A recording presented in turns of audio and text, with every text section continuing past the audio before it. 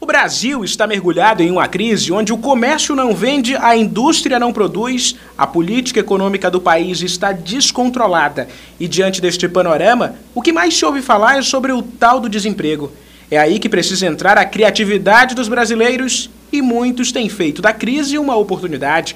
Olha só o curso de cabeleireiro do SENAC, sala lotada. O aumento foi de em média 30%, porque o mercado de beleza é um mercado que não está em crise.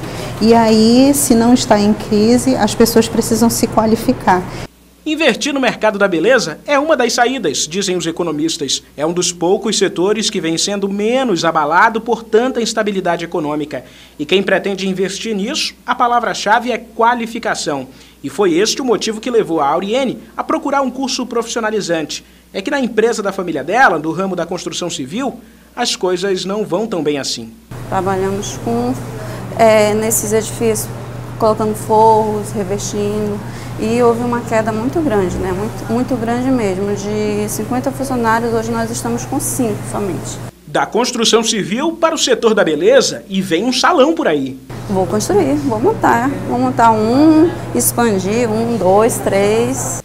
E acredite, a mudança da Auriene é um caminho certo, segundo o gerente de capacitação do SEBRAE.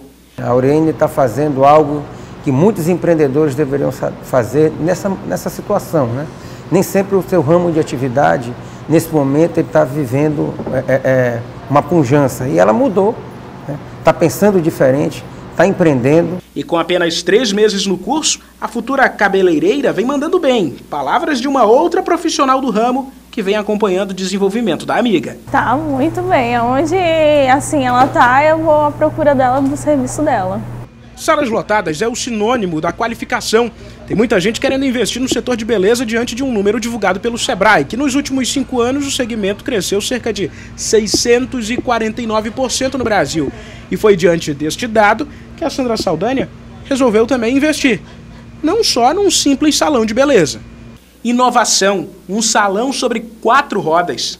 É uma área que se você não estiver se atualizando, né, você não consegue acompanhar. Uma, uma área que cresce muito todos os dias. E com um ano no mercado, em pleno período de crise, ainda é possível ajustar a empresa, viu, Sandra?